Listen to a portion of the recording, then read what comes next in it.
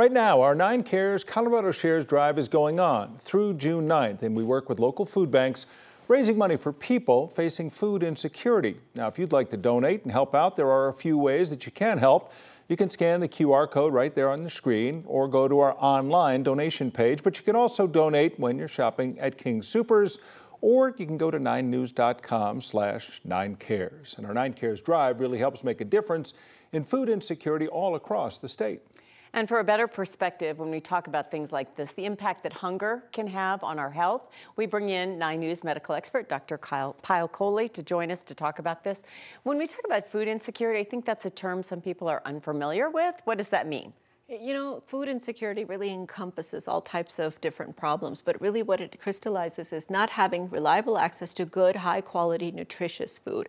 So it doesn't mean you're not eating, it just means you're not eating high quality food. And you know, post pandemic, with all the inflation and everything, food insecurity has become such a big problem here in the United States that we actually think it's part of what's contributing to the obesity epidemic, which is a little ironic if you think about it, because you think generally hunger, you tend to lose weight. But when you're eating bad foods, which is what people with food insecurity do, you pack on those pounds. Mm. And you think of the obvious indications in health as far as what you eat and how often you get to eat and you know uh, how much you get to eat.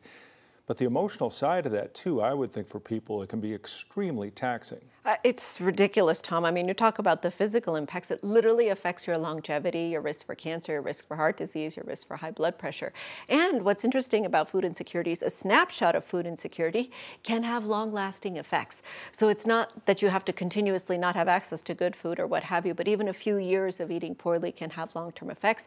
But you bring up the mental health and the mental health issues that come with it. In fact, we're not only seeing depression, anxiety, PTSD, especially in kids who grow up with food insecurity, but we're also seeing problems with cognition. These individuals can't make decisions in the same way. They can't plan their tasks in the same way. It affects our ability to think and function.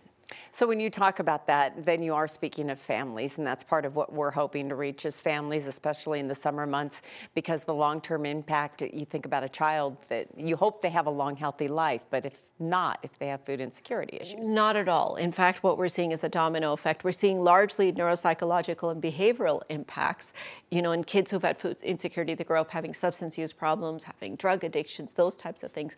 But again, even the physical impacts can't be underscored well, enough. The growing body, it needs needs far nutrition, more nutrition. Needs and, vitamins, yeah. needs enough calories, and you need good calories. Otherwise, what do you do if you're not getting enough good food? You break down your muscles, you break down your tissues to liberate those nutrients. So the fact that it happens during adolescence and one in seven Colorado kids struggles with this. It's mm. probably mm. higher since the pandemic. One in 10 Colorado adults. This is something that's an everybody problem. It's always been something that we've seen change uh, as food banks have become more prevalent, Food Bank of the Rockies and all of the regional food banks. But so many people used to do the canned food drives. You know, I'll bring, you know, the peanut butter or the sardines or whatever. But cash is so much more valuable to these operations because they know how to get the right foods and where to get them at the best prices. Such a good point because it's not just about getting food, it's about getting good high quality food. And we talk about these food deserts in medicine. We talk about medical deserts because food deserts and medical deserts overlap, but really giving in a way that people can give their family what they need, fresh food, fresh vegetables, organic fruits and vegetables is so important and helping them so that they don't just struggle with the physical and mental effects, but even the social effects. So think about a person who has food insecurity. They withdraw, they have low self-esteem, they have no confidence, you know, they're, they don't get along with people, they stay away from social situations. So when we talk about all the things that make us live a long, happy, healthy life, we've taken away nutrition, we've taken away sleep because it impacts our sleep, we've taken away the social behaviors and even the physical. A vicious cycle. Yeah. It, it preys upon itself in some ways. Right. I mean, you're eating those canned foods, you're getting all that sodium, you're eating processed foods, you're raising your triglycerides, you're gaining weight. So really at so many levels, we just need to reach into our hearts and reach into our pockets to try to help everybody because this is something that could impact any of us in our life.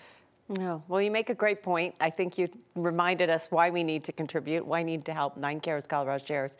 But always your advice, it's so important. We kind of need a bigger picture when we think about hunger. Thank you.